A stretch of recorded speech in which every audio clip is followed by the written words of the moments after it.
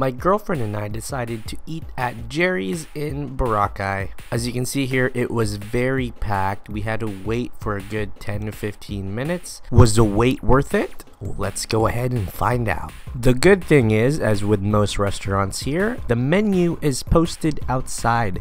Um, so you can actually take a look before you commit to waiting. I'd say that their menu is pretty expansive having things from pork, beef, seafood, vegetables, among other things. One thing I actually didn't know prior to coming to this restaurant is that Gerry's is a chain. When we went to different parts of the Philippines, we saw a bunch of different Gerry's as well. We already looked at the menu outside, so we didn't necessarily uh, use the menu too much except for the pictures. Looking at the pictures, I would say if if you don't know what you want, I'd suggest asking for a menu since as you can see here there are a lot of pictures in the menu.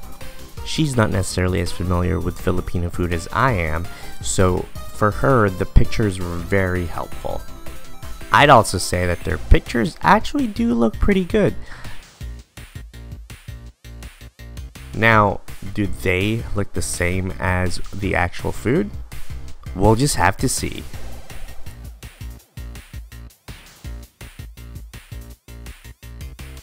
I started off with the mango shake and I can tell you that it was very refreshing. I ordered the sisig and it came with garlic rice. I really love garlic rice.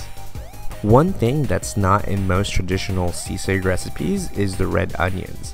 And personally, I'm a huge fan of red onions, so this was a nice surprise. Also, the calamansi, oh my goodness, that just makes the whole dish. They don't call it sizzling sisig for nothing, huh? Just look at that sizzle. Needless to say, the plate is very hot, so be careful.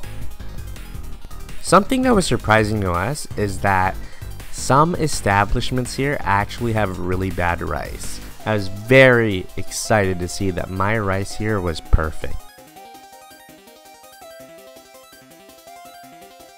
We also ordered fried chicken, which was not that great. And we also got noodles.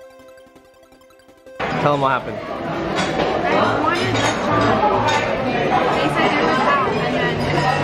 She really wanted the lechon kawali and when the server said that they ran out of it, she was very unhappy. What didn't help is that after our food was served, the table right next to us literally got lechon kawali. Um, the unfortunate part about this is that the noodles, everything here wasn't actually bad. Now, the shrimp, oh no, I would stay away from the shrimp. It has this weird, super shrimpy, fishy taste. It just felt like it wasn't prepared properly. Here's a clip of my girlfriend eating the chicken. I I mean she said it was good, but personally I was not a fan. Just felt like there was too much breading and it was just a little bit too salty for me.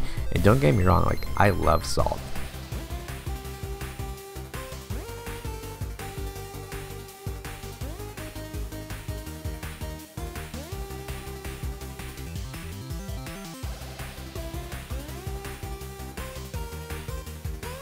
One awesome thing about the fried chicken dish though is that it came with these yellow things. Um, I know that it's some sort of pickled vegetable, I just don't know what it is. But wow, it really works well with the sisig and rice. Just look at that. Oil! The yumminess, all the fats mixing in. Absolutely fantastic flavor. I definitely tried the chicken, and here's proof of it. Um, yes, you can see the oils on there, but honestly, it was just way too salty, and, and I, I wouldn't get it. You can get way better chicken in another place. Thankfully, the shake was something that was absolutely fantastic and goes well with the entire meal. Here's me just dumping all the rice onto my plate because, really, why not? As I've said earlier, we really did not like the shrimp and we don't recommend that you try it, so we put it on a separate plate here. Okay, We're not sure what this is, but this came from the noodle dish as well.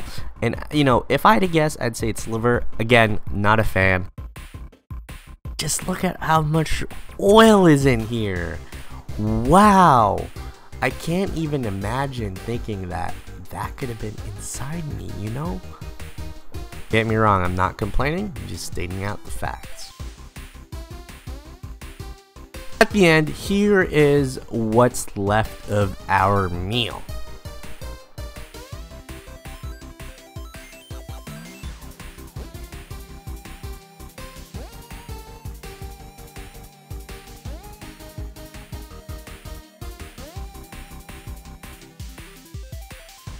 Our entire meal cost us about 1100 pesos or something a little bit more than 20 bucks. So for the things that we got, one, one sisig, one chicken dish, uh, one noodle dish, and two shakes, I thought it was a pretty fair price. And given that we were in Boracay, it was okay. Now, was the food that great? I would say probably not. Um, I thought it was mediocre. As a matter of fact, when we saw the different Gerry's out in the different parts of the Philippines, uh, we actually avoided them. Um, it's an okay restaurant. I don't know why so many people are in here, but honestly, I found it to be mediocre. Now, I'm not telling you to not come here, right? Uh, that was only our experience, and I guess if we did order something else, maybe we would have a better experience. So, sisig, it was okay, not that great. I did like the red onions. Uh, the chicken, a little bit too salty, just not a fan. The noodles, as in like the actual noodles uh, themselves, was good. But again, it had shrimp, which was ugh, at best, and liver, which we were not a fan of. Overall, uh, make sure to give it a thumbs up and a sub below if you like this video. Thanks for watching, and we'll catch you in the next one.